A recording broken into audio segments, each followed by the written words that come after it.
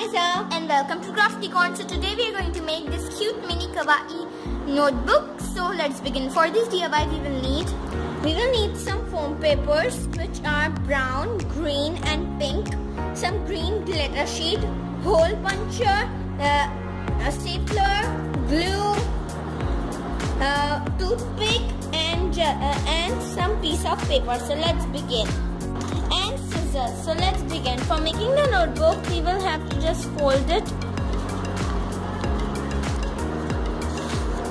Fold the paper like this and we have to cut it in three strips. So let's do it. Like this. And we have to just fold it together. Like this punch these three strips together with some uh, stapler. You can cut the excess with some scissors like we did. Okay, now our notebook is ready. Now Aisha will show you how to make avocado cover. So let's do it. The cover, you first need to cover your um, notebook with some pink foam paper.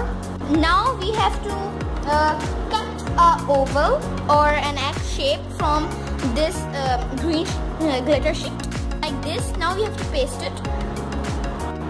Now we have to cut another oval or X shape smaller than this one from this uh, green foam paper. Yeah this green foam paper. Now we have to glue this oval on top of this one this glitter sheet. So let's do it. We have to cut uh, punch a hole from this brown sheet uh, this hole will resemble the seed of the avocado. With the uh, and we have to just cut it with the help of hole puncher. So let's do it.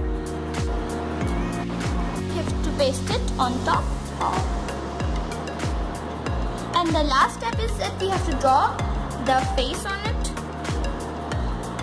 And the face you will need a toothpick and something. Uh, you can round the edges if you want kawaii notebook is done. So hope you like this video. Bye.